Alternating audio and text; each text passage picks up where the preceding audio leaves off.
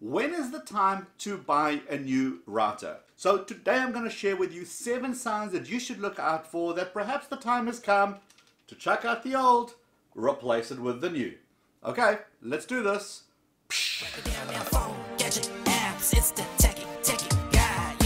Hi guys, welcome back to the channel. If this is your first time here, my name is Liron Segev, where I talk about Wi-Fi and gadget and tech tips and phones and how to. If you're into that kind of stuff, hit that subscribe button below and let's get on to today's show.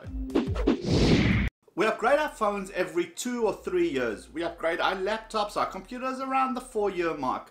But when it comes to the router, we tend to use it until they die. And that could be the reason why your Wi-Fi and your internet speed are really just terrible and no matter what you do, the speed just keeps getting slower and slower. So let's go through the seven signs that I look for when it's time to upgrade that router.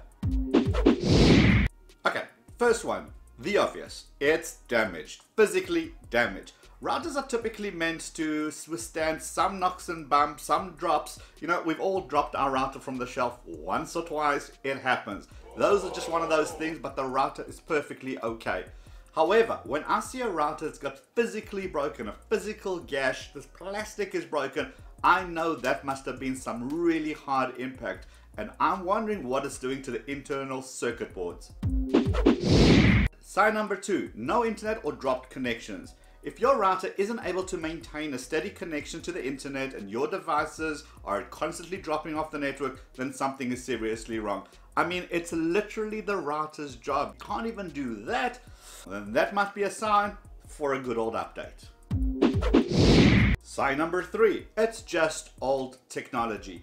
The common standard today is Wi-Fi 5 and the new routers even have Wi-Fi 6. If your router only has Wi-Fi 4, well, it's living on borrowed time. If your router can only handle 2.4 gigahertz and doesn't have 5 gigahertz at all, you're going to see a massive improvement when you replace it with a shiny new router. You should also look for a tri-band router, which means you get one 2.4 gigahertz and two 5 gigahertz bands, and the connectivity difference is going to be insane.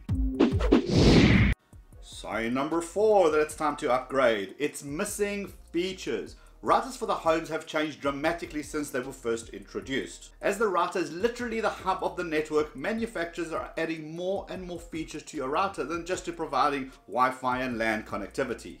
It's very common to see routers with USB ports which can be used for things like centralized storage and printing and powering up other devices I have an entire whole video just on these usage. I will link it in the description. You can check it out. Routers also tend to have multiple antennas so that we can shape the Wi-Fi signal to get better coverage. Again, I have an entire dedicated video just for that and that will also be linked below. So if your router doesn't have USB, has only got one antenna or two antennas, well, again, it's another indicator that you're sitting with old technology and perhaps it's time to upgrade.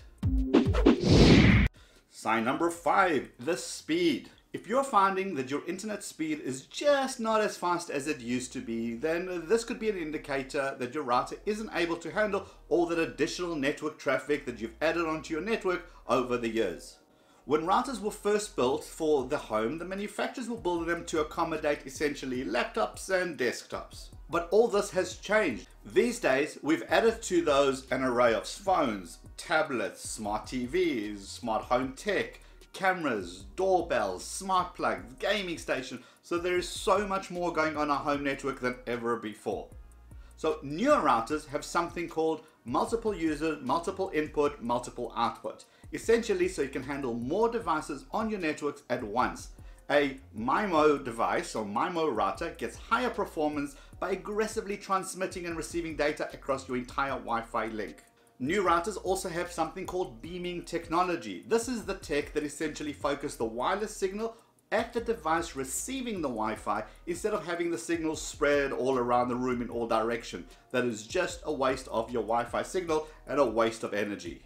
Beaming tech is especially important for those phones and tablets that are constantly moving around the home and need that wonderful great signals at all times. So if your router doesn't have MIMO and doesn't have beaming tech, well, another sign that it's time to upgrade.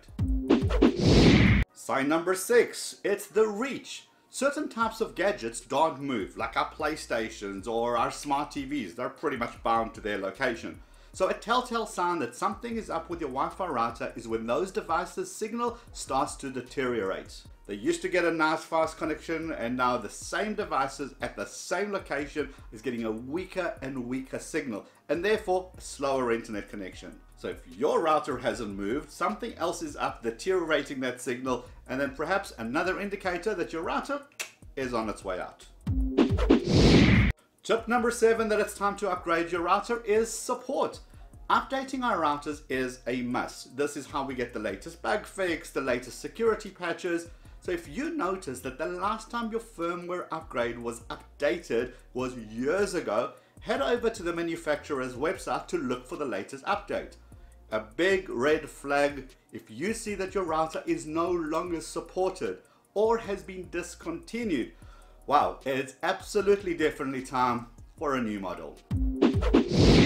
And bonus tip time, if you're going to get a new router, do not throw away your existing router.